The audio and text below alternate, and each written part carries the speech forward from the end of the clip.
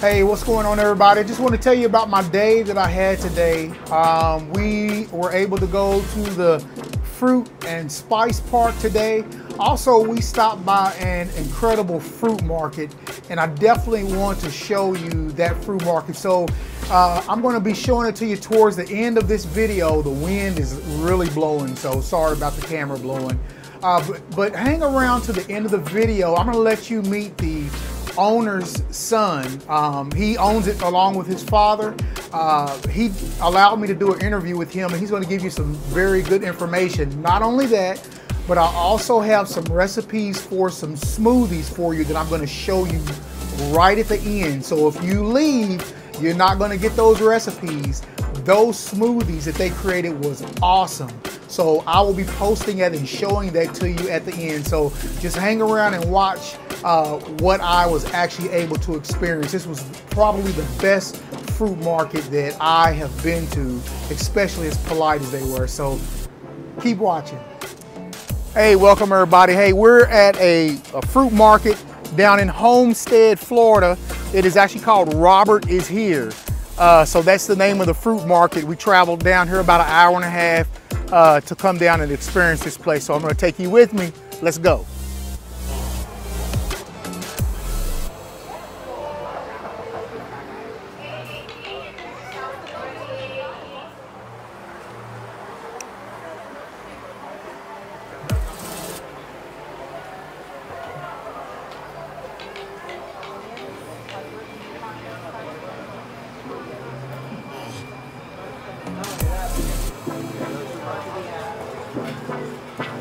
Said these right here are good too.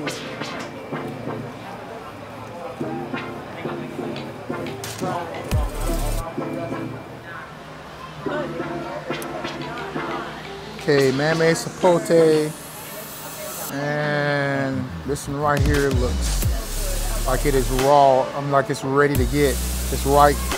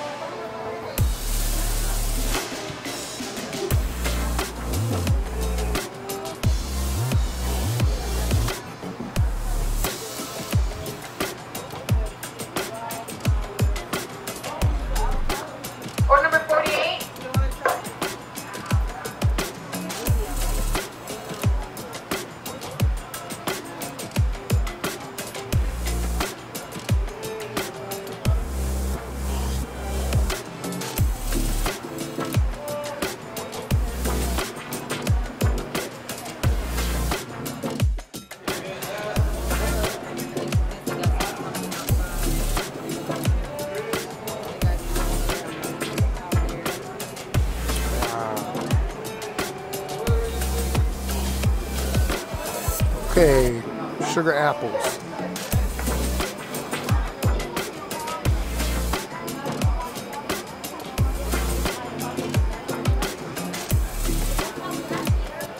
All right, so welcome to Robert is Here Fruit Stand. I'm Robert Jr. You're standing in a place where Robert also stands. We carved him out of mahogany log. So Robert is Here was founded in 1959, November. It was Thanksgiving break in November, and my grandfather used to be a cucumber farmer. Brought all his cucumbers to the broker here in Florida City, and the broker told him that the market price for cucumbers was so cheap that he would have better success to dump all the cucumbers and save his boxes for next year's crop. Rather than just dumping them, they got resourceful. My dad was just a six-year-old little boy sitting at home on the living room couch. Grandma said, you're gonna go out and you're gonna sell cucumbers today. So she packed up some cucumbers and stuck them on the side of the road, same place you're standing right here. And absolutely zero customers stopped to help the chubby little six-year-old on the side of the road. My grandfather figured maybe no one saw him. They probably thought he was waiting for a pickup truck to pick him up from, you know. So they decided to spray paint Robert is here on a hurricane shutter. And damn if he didn't sell out. He sold out so fast that when he walked home just a mile west of here, my grandma got kind of upset thinking he left his post. What are you doing? You got to sell some cucumbers. So sold out, walked home, kept on selling more cucumbers. The next day, show up, sell some more cucumbers. Local neighborhood farmers driving by would see this little kid sitting out here keep showing up selling cucumbers. They'd drop off some avocados, some mangoes, whatever they had, they had tomatoes. And so it's kind of cool how the neighborhood got behind him and said, look, you keep showing up, we'll keep giving. And this November will mark 65 years that we've been here on this same corner, same guy, doing the same thing. No blueprint for anything that you see here. We are 100% just solving today's problem and just naturally evolving into what you see it now. We average almost 2,000 milkshakes a day from Christmas to Easter. Uh, end of May, June, July, and August, it is like a mango festival in here. We have Kent, Keitts, Valencia Prides, Glenns, Edwards, Rosigolds, Pickerings. I mean, it is just a full on mango festival. And that's every day of the week. We have samples, you can try all these. We out back, we have animals, we have zero waste, we have so many mangoes. You know, you get a bad spot in a mango, it'd be a damn shame to throw the whole thing away. So, what we do is cut the bad spot out, throw it in a bucket, and make a milkshake out of the rest. And then the animals eat the scraps. And so there's, you know, not too many businesses can, can claim that they have, you know, zero waste. It's pretty neat. Uh, milkshakes are definitely a staple here. We pride ourselves on selling the unusual. You can get, you can get apples and grapes and oranges anywhere you go. But here, where, we, were, where we're located in South Florida, it's pretty unique that our area, you can grow guanabanas, lychees, wax jambu, monstera deliciosa, uh, mangoes, avocados, many different tropicals that you would, you know you find in other countries. Man, you're right here. It's just south of Miami. You can have the Miami flavor, you can have the Keys flavor, and the taste of the tropics right here in Homestead. We have mamey that grow. You can't even grow mamey two hours north of here. Mamey takes that is like gold of the Redlands. It's like the unsung hero. This fruit takes 25 years to grow from seed, and then once the tree produces and does it gets to maturity, it takes 18 months to two years while your fruit is hanging on the tree. And you got to beat the squirrels, the thieves, and the hurricanes. But if you can get past that, it is every mamey picked is a mamey sold. It is it is like printing money. We picked up two of them. Yeah, no, it's it, they're- the flavor with the heavy Latin culture down here.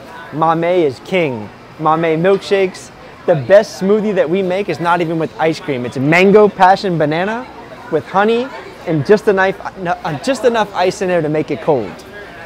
And it is like WD-40 for the So soul. that's, that's a, pretty much wrong. It's 100% raw, no dairy You whatsoever. just sold one. Just Yeah, it, in fact, I'll make one for you. I'm gonna eat one too, so we'll, we'll, we'll share one together. But it is it's so much fun. The flavors are so cool. I went to school in Kentucky. I had a roommate that never even eaten an avocado. I grew on a I grew up on a five acre avocado grove right in front of my house, and 10 acres of mangoes right next to us. Wow. And so it was always fun bringing people from outside down to our area and show them how we do life. Now, are these mangoes from your farm? From our farm, this is the last of them. Our mango season is from the end of May, June, July, and August. And so once you get past August, it's pretty much slim pickings. The tree, the tree trim has already been called. We always trim our trees back to 14 feet, hit them with fertilizer, and then produce them back up with flowers again in Now, end of May. just tried a couple of your mangoes. They're fun. mangoes we have ever had in our life. that's the Keitt, Yeah. the Keitt variety, the K E I T T kit. We, we really specialize in Kent, Keitt, and Valencia Pride. Tho- Those are our, our, our most consistent pride and joy mango, where every single one is you know the same flavor. We ship out so many thousands of pounds of mangoes. The the it, the social media aspect, you know, you can only sell so many mangoes in house, but with with online social media and all that promoting, it's amazing. We- Robert is here, can go right to your front door. Wow. Yeah. I definitely after appreciate it. this came after Hurricane Irma. So uh, the log did. After Hurricane Irma, we have all these mahogany trees, sapodilla trees that are really uh, tamarind trees, very highly sought after pieces of wood. And they're on their way to the dump because everyone's, you know, clearing out their homes and getting ready, to, you know, after a hurricane, cleaning up. So I started driving around with my pickup truck, a trailer, and a forklift, just cleaning up. And I found a guy that carved my dad out of one mahogany log here. This is a jackfruit. We took the picture from his book and carved him out of it. We tried to get it done before we came back from uh, North Carolina, but it took about a month from start to finish. It's all one piece. And he just went on a picture. Like I said, he just held up our book for a model to cut. But he's got his cell phone here, got his little knife pouch here, got the Robert is here logo on the back of the shirt. Robert is here. wow. It's pretty cool. You know, like I said, no. November marks 65 years. You know, not too many businesses have, and the guys, my dad is still here. You know, Robert is here. Uh, See, I asked if that was your dad. 100%. Yeah. Yeah. So we wrote a book. He's like, look, I don't care if we sell one copy. I want your grandkids to know that this wasn't just a, a $100,000 idea and a bunch of money invested and other people getting, you know, this was one little boy that kept showing up. And his business motto is keep showing up and good shit happens. You know, just keep showing up, sell a quality product, and look around me. This is a fruit stand. It looks like a nightclub in here. does. And this is Is Labor Day. like this every day?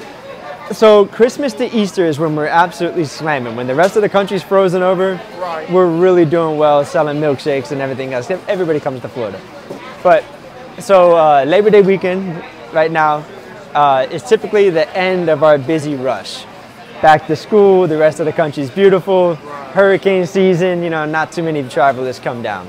But right after Christmas, it's like clockwork. You see the RVs coming, they're staying in the Everglades National Park. We got a we got a hell of a draw right here in our little town. We got two national parks. Nowhere else in the country that's a, we we have not one but two. We got Now, what's your name? Robert. I'm Robert, as well. Yeah, Hey, I appreciate it. yeah, Thank yeah. you so much. Nice meeting you. Just coming out here and just explaining to us about this place. It's our passion. We did. We only learned about it today. We were with some friends who came down with us, and they told us about this place. Fun. So we were actually going to go to the Fruit and Spice Park. Uh, hey, you still got to go to the Fruit and Spice Park. It's a lot of well, fun. We're here, so That's cool. We're glad we came. Well, I'm it's glad. good meeting you, and thank you so much for sharing with us. Absolutely welcome. Come on down. Okay, so this is what we got. I got some of the world's best avocado. I promise you, I've never tasted anything. Oh, I'm sorry, mangoes. Never tasted anything like that in my life. We also got another custard apple. These are like 19.95 a pound.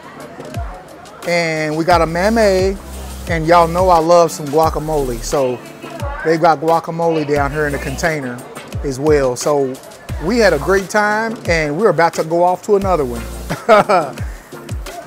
so as you all got to see, I got to speak with the owner's uh, son and I also got to meet the owner down here as well. Um, and they also made me a smoothie. It's passion, um, banana, uh, I can't remember what it is, but it's all natural. It's all raw. They did add a little honey for sweetener. It's called, of course, you all know I'm a bee grower anyway. I raise bees, so I have no problem with eating honey.